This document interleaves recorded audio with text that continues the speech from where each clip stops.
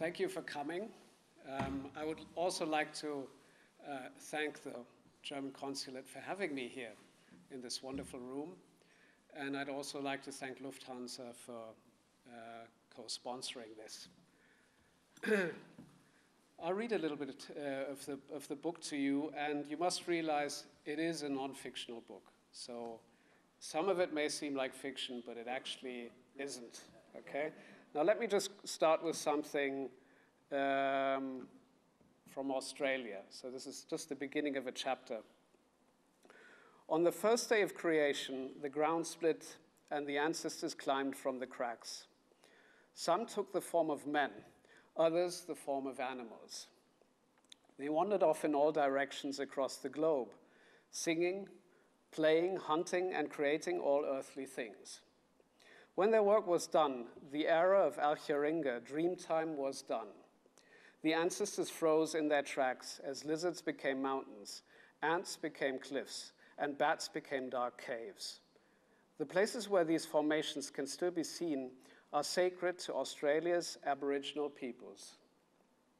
For 40,000 years in Australia, nomadic tribes have been following in their ancestors' footsteps, which crisscross the red continent like a fine mesh. In seasonal cycles, Aborigines set off on foot, sometimes traversing thousands of kilometers. They pause at the holy sites along the way during walkabouts and gather for ceremonies to summon up the power of souls alive in such places. In 1957, a young woman named Eddie Milpuddie was on such a walkabout with her family. Her journey had commenced two years previously in the Everard Ranges in central Australia, and the route to her final destination, the Yalata settlement in the south, took her straight through the outback.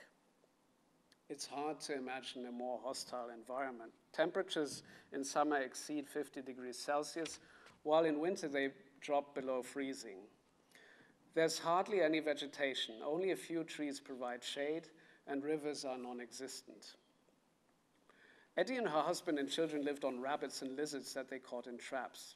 They drank from hidden water holes they found using song lines the lyrics of which list landmarks that the Aborigines used to navigate along the invisible paths of their ancestors.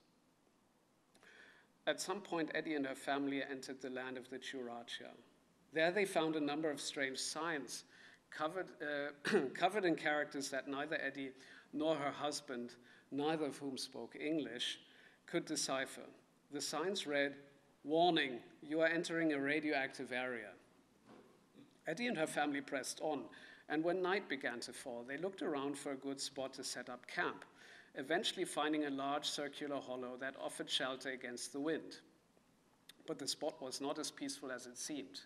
When the sun had set completely and the Milpuddies had lain down to sleep, they were startled awake by a sudden din of motors. Seconds later, all terrain vehicles appeared at the edge of the craters, and soldiers in overalls jumped out. White men yelling in a language Eddie didn't understand forced her and her family to get in one of the vehicles. After a while, they reached a symmetrically laid out settlement of barracks. The white fellas ordered Eddie and her family to stand under a stream of water. It was the first shower of their lives. Once they had dried themselves off, the Milpuddies were examined with a Geiger counter and then sent back under the water. This frightening procedure was repeated four or five times. In the end, the soldiers gave the Milpuddies some clothing and left them in peace. in the end, the soldiers gave the Milpuddies, oh, sorry. Outside, however, the family's four valuable hunting dogs were shot. Eddie Milpuddie was pregnant at the time of this incident, but she lost the baby. Her second child died of a brain tumor at the age of two, and her third was born prematurely and only barely survived. She blamed radioactive contamination in the soil. The crater in which the family had camped out had been created a few months previously by a 1.5 kiloton atomic bomb that had been detonated in the desert. Marcoo 1 was part of the British nuclear program, which in the 1950s moved from the developmentals uh, to the test stage. The Clement Attlee government in, At- in London had selected Australia as its test site because it considered it uninhabited. But no one had considered the fact that an Aboriginal path might lead directly through the test zone. Now, I go on to describe that this whole area, which is absolutely huge, we're talking of something like, you know, the state of New Jersey, that kind of area, which they used as a bombing range. There was only a single person assigned to clear it uh, of, of Aboriginal people migrating through the area. So there was only one man responsible for that. And uh, I must also say that it's very unfair for me to get up on this pulpit and, and, and kind of pick on the British because uh, this idea of places that were used as bombing ranges for, ranges for nuclear tests, that they're uninhabited, is not singular to the British nuclear program.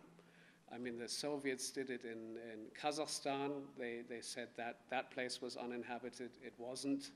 Uh, and they set off, a, I think, almost 500 nuclear weapons there. Um, uh, I'm sure the Chinese did something similar. Uh, the United States in Nevada, the Pacific, Bikini Atoll, you know, so it's unfair of me to, to pick on the Brits.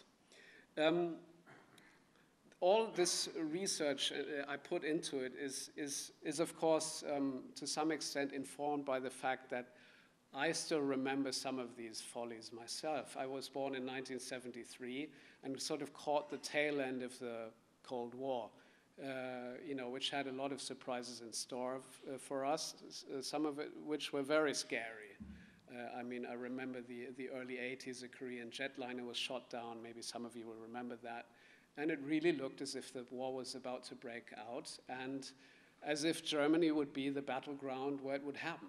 Um, I mean, that was supposed to be, or was seemed to be designated as the, the battleground for future nuclear war. So I do remember that. I remember a classmate of mine, he, um, he had a rich dad and they were, they were digging a nuclear shelter in the garden.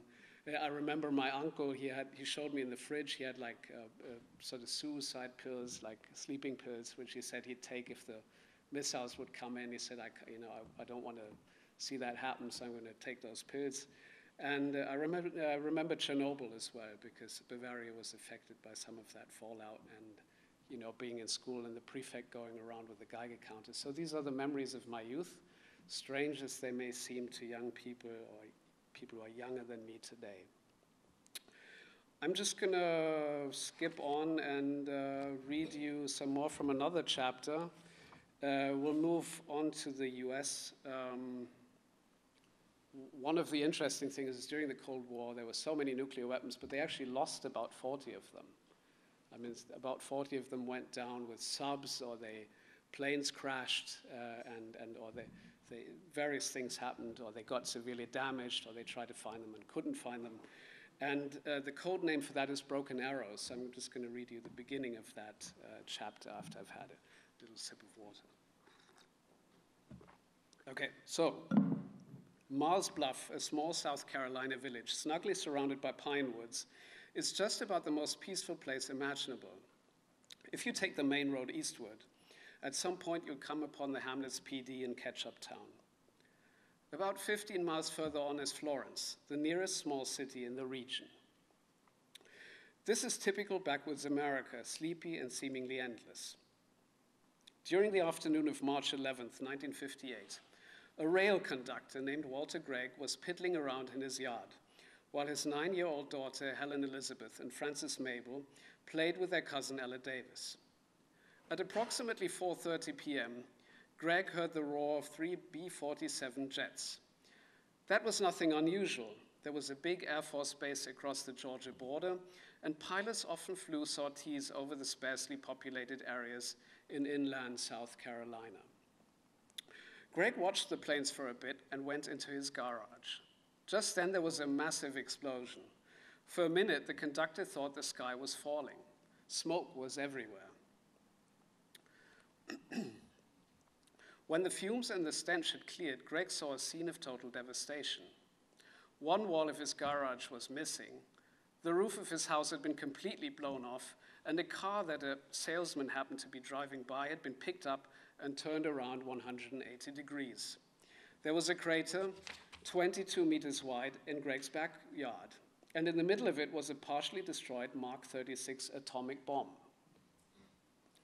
This was the same model that had been dropped on Nagasaki, although the Mars Bluff warhead was more modern, powerful, and dangerous. When the tear shaped bomb had hit the ground in Gregg's backyard,